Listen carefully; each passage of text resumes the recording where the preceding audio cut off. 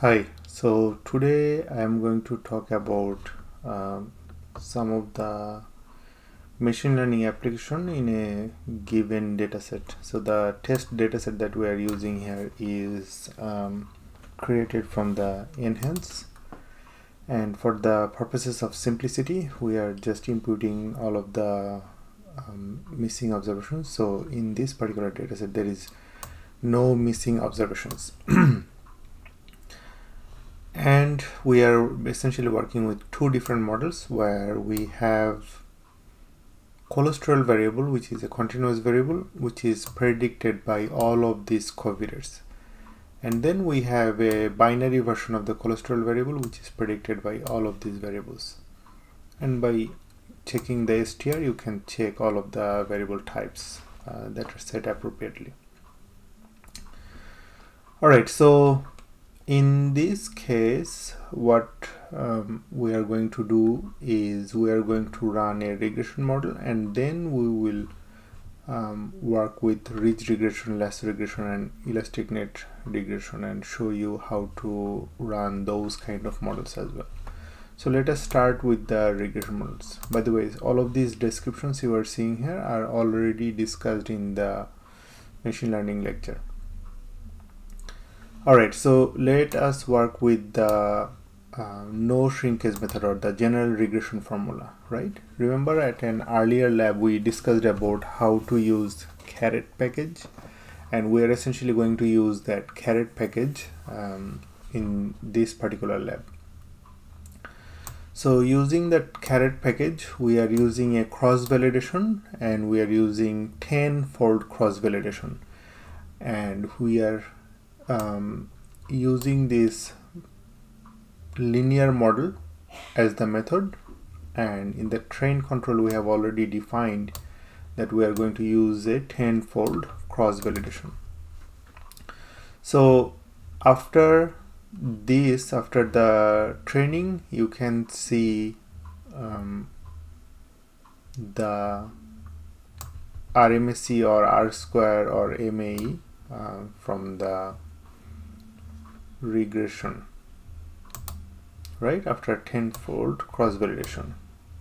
And then you can also use the stepwise regression as we have seen earlier as well in earlier labs using the backward elimination. Um, and you can see um, the regression fit and the final model using these dollar sign dollar sign final model. And it, will give you all of the coefficients from that final model. So original model has 22 predictors but after doing the stepwise regression we are getting 18 and um, even though this is the 18 coefficients that you are getting that, that does not mean 18 predictor because see for race you have two so if you have any um, variable that is uh, categorical for those type of variables you will have um, you may have more than one um, coefficients associated with those variables. Alright so let's move on to shrinkage um, and how can we run the shrinkers? For running shrinkers we need to load our package glm and in the train method we have to specify glm method. Again we are working with the tenfold cross validation. Uh, but if you remember from the cl class we talked about uh, the alpha and the lambda right um, and in the class we talked about how we can find a suitable lambda based on cross validation. So in this case we are not really finding a lambda based on cross validation. We are basically uh, setting just one value. We are not giving any other option. We just want to learn a um, lasso method uh, using this GLM and this will this will give you um, these um, and R square values. One thing to note here is that I'm calling this alpha equal to 1 that means I'm working with a lasso model right and in this case we're again working with another lasso model but this time we will give um, many of many values of the lambda value so that we can try to identify based on five-fold cross validation which is the best lambda value for us. So we can define the tune grid and we can define the control function um, to specify how many cross validations and in the train control we simply specify the control and the tune grid. To specify the grid search for the alpha and lambda and um, the cross validation five-fold cross validation. Notice that even though we are defining alpha and lambda alpha has one value so it is not going to change the alpha value. Only thing it is going to do is it will try to find the optimal value of lambda. And then you see all of these lambda values and associated RMSE values right?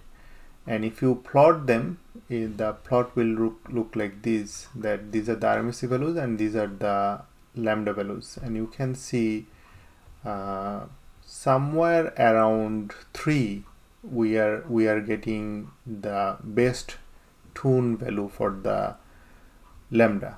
So that's what we are getting here using the best tune and if you want to do a bit more digging because you already know that the that the RMSE plot has a pattern so maybe the optimization is not exactly here. It could be somewhere here or it could be here right? So now that we know it is somewhere in between we can try to do a more refined grid search between 2 and 3 and if we get the base value equal to 3 that means maybe the we should do a grid search on uh, more than 3 right? So point from point 3 to point 4 we can do that. If we get a best alpha value based on this analysis um, exactly equal to 0.3 but let's see from 0.2 to 0.3 what is the lambda optimum lambda value? We're again setting the same uh, arguments. The only thing that is changing is that from this was from 0 to 1 before and now we are refining our uh, grid. And from this you can see the best value is 0.21 so somewhere here uh, is the best value. So you can try to do a general grid search using a uh, not so thin parameter list and then once you identify a an area where you think the optimum value might exist then you can do a more refined analysis to find a better lambda value. All right so in the previous example what we have done is that we have found out the specific lambda value um, where our alpha was fixed alpha was equal to 1 but in here what we are doing is that we are choosing three different alpha values. So when we're setting alpha equal to 0 that means what? That means we're getting a ridge. When we're setting it equal to 1 it is giving us the lasso. When we're setting it to 0.5 um, then we are essentially getting a elastic net. And then we are doing alpha and lambda both um, grid search. And everything else is the same. And in here you can see based on your mixing parameter. So this is the mixing parameter for ridge for lasso for elastic net. It gives somewhat different um, optimization values right? So for this green or this lasso um, the optimum value may be somewhere here but for the mixing value or the elastic net the optimum value might be somewhere here so depending on your alpha value your RMSE's optimum value for lambda might change and we can find the best alpha and lambda value equal to 0.5 and lambda equal to 0.6 all right So, so far we have worked with continuous outcome. Let us work with binary outcome now.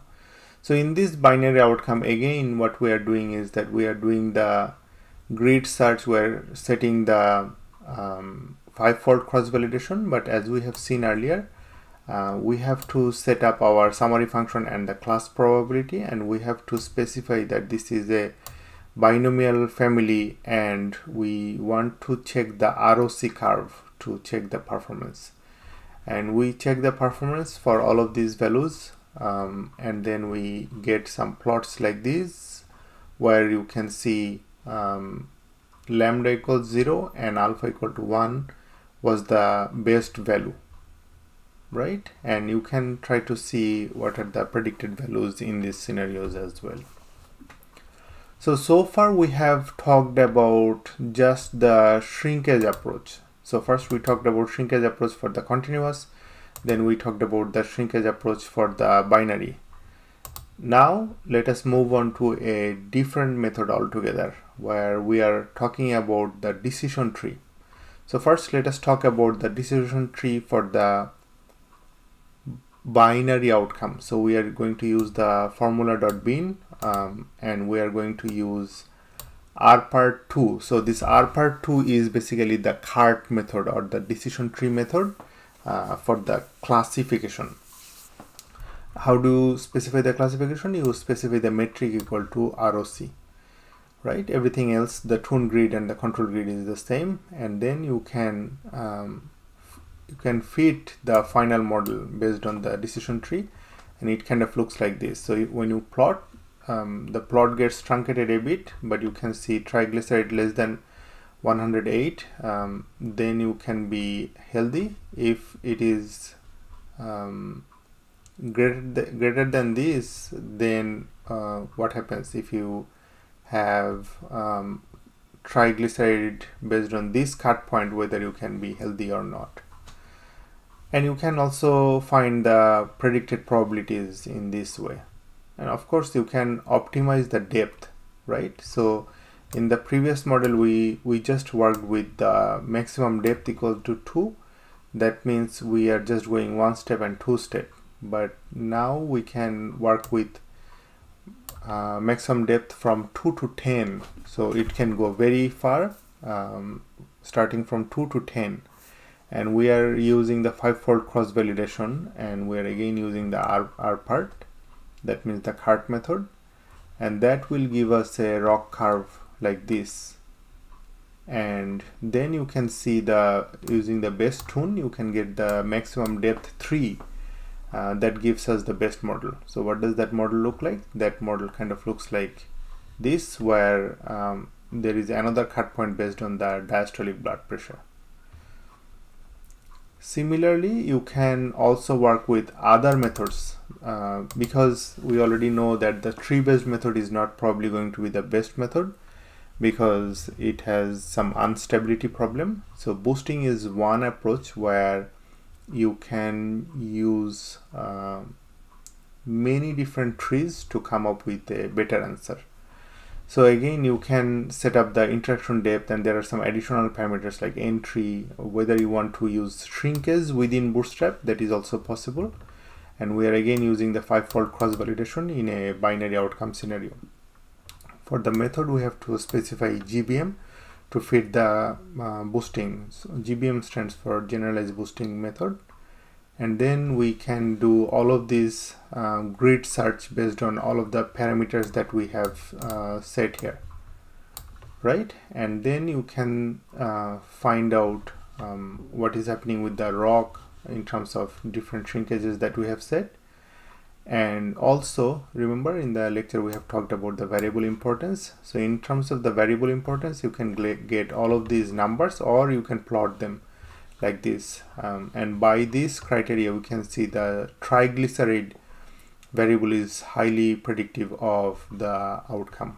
And some of the other variables like uh, physical recreational or race or uh, income are not so uh, useful in predicting the outcome.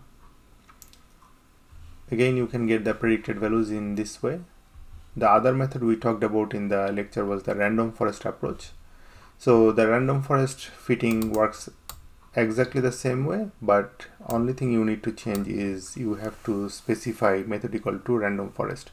And that comes from a particular package known as the random forest package and then you can similarly do the tuning to get the fit and also you can get the variable importance plots using the random forest and you can see the plot. Here you can see triglyceride is again uh, the best predictor of the outcome. Age is the second. Whereas when we were doing um, bagging uh, sorry boosting uh, we see the age was again the second variable uh, but diabetes was the third let, let us look at the random forest. So in terms of the random forest bmi was the third not the diabetes. So depending on the algorithm you are using the variable importance plot may choose different order of the variables. Right so you can uh, fit get the fitted values in this way from the predict.train